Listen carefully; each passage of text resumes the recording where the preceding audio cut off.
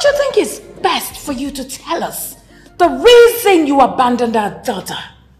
Madam, your daughter slaps me at the slightest provocation.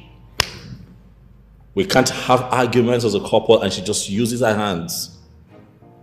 I have suffered physical abuse of all kinds, verbal abuse of all kinds. And when it comes to managing the home, oh my goodness, beauty is the worst I have seen.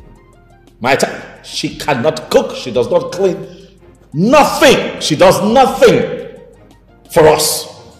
The only thing she knows how to do is to boil water. One time I came home and she presented a very good meal. I enjoyed it, thinking it was all her, only for me to find out by the cook that she hired, who she didn't pay by the way, came by the house and told me that she had hired him to prepare that meal.